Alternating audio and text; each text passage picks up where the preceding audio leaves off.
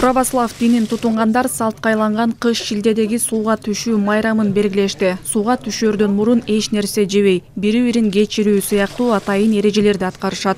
Бул үй бүлөлүк майрам болгондуктан жаш кары дебей келип сууга түшөт.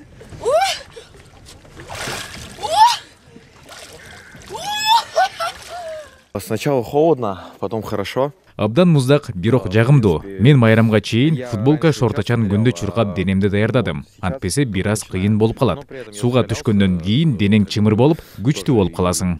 Я чувствовала себя прекрасно. Даже что то во мне раскрылось такое новое интересное.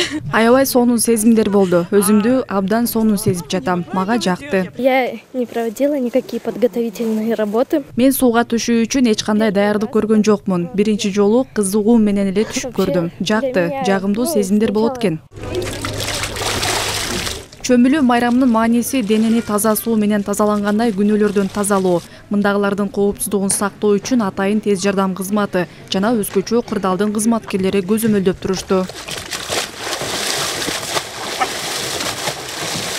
ошондой эле бул күнү православдар чиркөөгө келип динге кызмат кылышат. Андан соң бөтөлкөлөрүнө чилде суусунан куюп алып кетишет.